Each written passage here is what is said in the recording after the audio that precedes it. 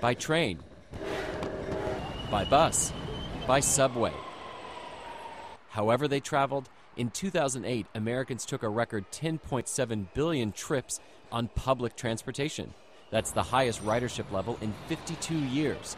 According to the American Public Transportation Association, overall ridership increased 4% compared to 2007. At the same time, people drove less.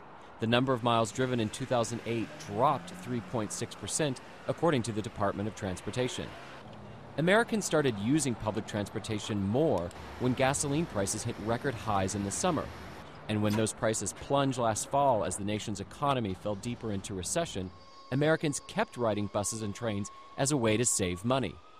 Could this be the start of the end of the nation's love affair with the car? Probably not. The average price of a gallon of gasoline has hovered just under $2 for several weeks, and with those sustained, cheaper prices, Americans are starting to drive more. Demand is up more than 2% compared to a year ago. With the Money Minute, I'm Charlie Herman, ABC News, New York.